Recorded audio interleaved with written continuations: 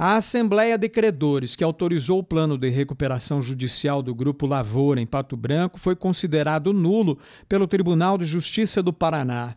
O processo, se fosse físico, já teria um volume de mais de 10 mil páginas e a tendência é aumentar consideravelmente.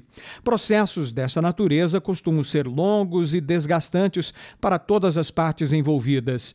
O advogado Pablo Laforga, representante do Grupo Lavoura, em reunião no Sindicato Rural de Pato Branco, explicou como será agora esta fase do processo. A nossa ideia nesse momento é nós trabalharmos com a mesma estratégia de coletarmos os termos de adesão né, de todos os credores e estamos fazendo um trabalho já nesse sentido, em especial aqui no Sindicato Rural de Pato Branco, para que eventuais produtores rurais e outros credores que tenham interesse possam vir aqui e votar a favor do plano que vem sendo apresentado pelo Grupo Lavoura.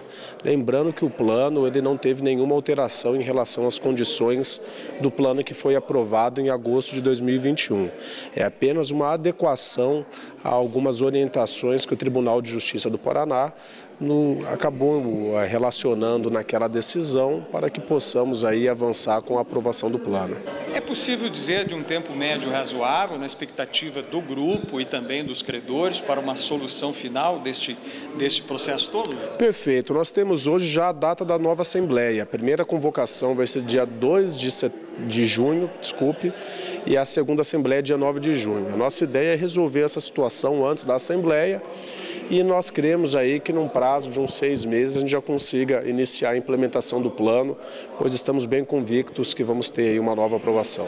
Num breve resumo, a dívida de 160 milhões em média do Grupo em Recuperação Judicial Lavoura tem diretamente ligada a produtores rurais algo em torno de 60 milhões de créditos que os cerca de 700 produtores têm o direito de receber.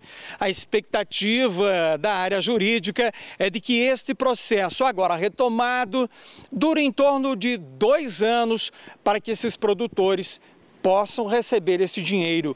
O patrimônio que está em garantia desta dívida foi avaliado no ano passado em 62 milhões de reais. E o patrimônio total do grupo está ali girando em torno de 160 milhões de reais.